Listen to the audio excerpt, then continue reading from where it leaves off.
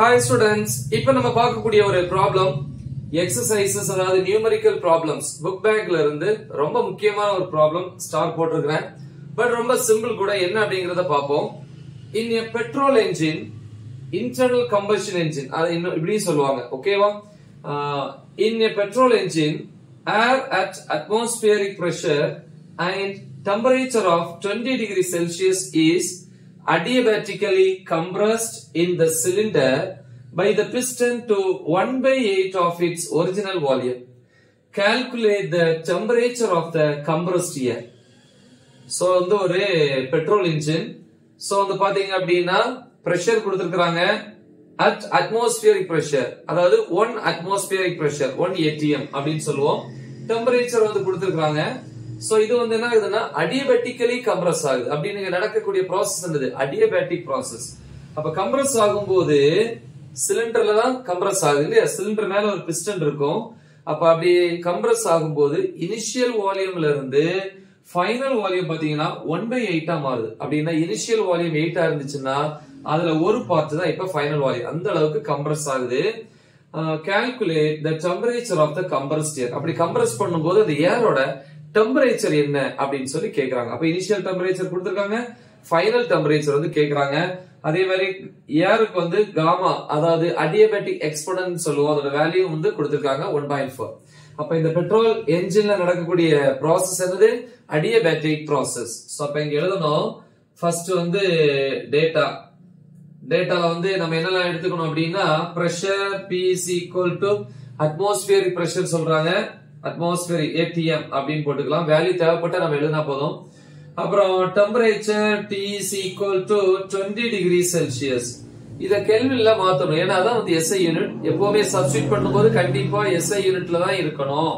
இப்ப நான் ஃபார்முலா சொல்லி கொடுத்துக்கிறேன். Celsius C by hundred is equal to K minus two seventy three by hundred equal to F minus thirty two by one eighty அது ஃபேரன் கீட் அது நமக்கு இங்க தேவையில்லை. நான் எழுதல.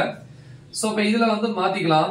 ஹண்ட்ரட் ஹண்ட்ரட் கேன்சல் ஆயிரும். இப்ப செல்சியஸ்ல வந்து வேல்யூ பாத்தீங்கன்னா டுவெண்ட்டி டுவெண்ட்டி டிகிரி செல்சியஸ் அப்ப இதுல இருந்து Kelvin is equal to twenty left side இருக்கு டுவெண்ட்டி டூ செவன்டி இந்த பக்கம் வரும்போது minus two seventy three plus two seventy three ஆகும். நல்லா புரிஞ்சுக்கோங்க. அப்ப செல்சியஸ்ல இருந்து கெல்வின் மாத்துறதுக்கு செல்சியஸ் வேல்யூ கூட டூ செவன்டி த்ரீ ஆட் பண்ணா போதும்.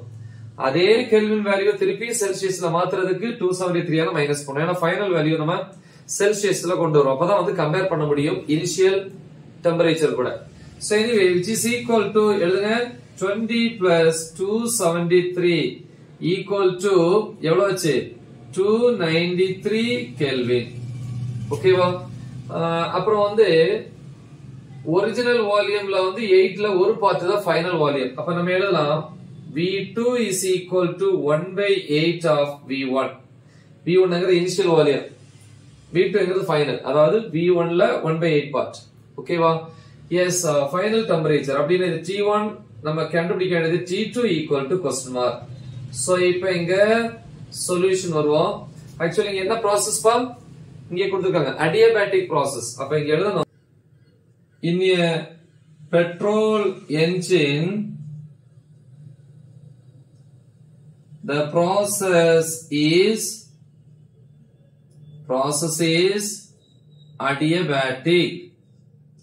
சரி கொடுத்துருக்காங்க இல்லையா? அடியபேட்டிக் சரி இனி ஃபார்முலா எழுதுவோம். Adiabatic process in terms of temperature and வால்யூம்ல படிச்சிருப்போம். ஒரு டெரிவேஷன் கூட நம்ம வந்து எக்ஸ்பிளைன் பண்ணிருப்போம் நம்ம சேனல்ல இருக்கோம். என்ன ஃபார்முலாப்பா T V power gamma minus one equal to constant இப்படின்னு சொல்லி ப்ரூவ் பண்ணிருப்போம் இதான் ஃபார்முலா இப்போ திஸ் இஸ் ஈக்குவல் டு கான்ஸ்டன்ட்னா இனிஷியலா இருந்தாலும் ஃபைனலா இருந்தாலும் அதுவும் கான்ஸ்டன்ட் தானே? அப்படின்னா ரெண்டுமே ஈக்குவல் அப்ப இது எப்படி எழுதலாம் அப்படின்னா இனிஷியல்னா இங்க ஒன் அப்படின்னு போட்டிருக்கிறோம். அப்ப T one V one power gamma minus one காமாங்கிறது constant வேலையை கொடுத்துருக்காங்க. அதுல காமா ஒன் போட்டுறாதீங்க. ஈக்குவல் டு ஃபைனல் என்ன? T two V two power gamma minus one equal to constant அப்படின்னா ரெண்டுமே ஈக்குவல் அர்த்தம். கான்ஸ்டன்ட்னால ஈக்குவல் அர்த்தம். அப்படி சைடு சேஞ்ச் பண்ணிப்போம். T two V two power gamma minus one equal to T1 V1 power gamma minus 1.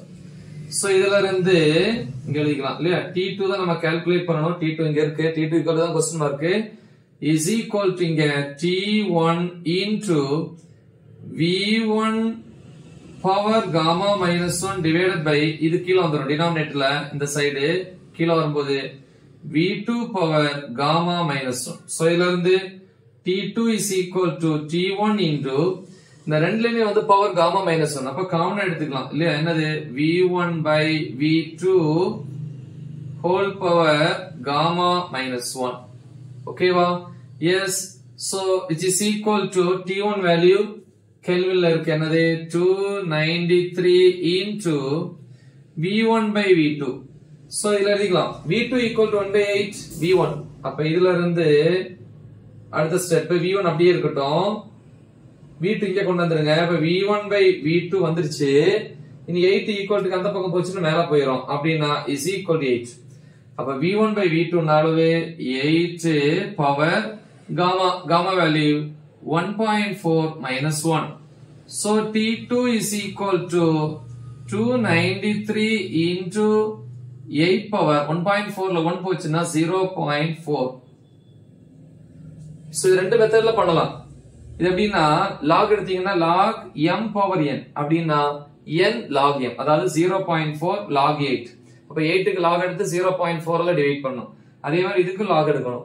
ரெண்டையும் திருப்பி ஆட் பண்ணி ஃபைனலாக ஆன்டி லாக் எடுத்தீங்கன்னா ஆன்சர் கிடைச்சிடும் கரெக்டா இல்ல நீங்க வந்து ரூட் வந்து நார்மலா வந்து லாக் புக்கை வச்சு நீங்க யூஸ் பண்ணாலும் ஓகே சோ அப்ப என்ன வரும் அப்படின்னா T two is equal to two ninety three so இதோட whole power zero point four அப்படின்னா இதோட value two point two nine seven four அப்படின்னு வரும். ஓகேவா எஸ் சோ இது நமக்கு தேவையில்லை. இதை அழிச்சுப்போம்.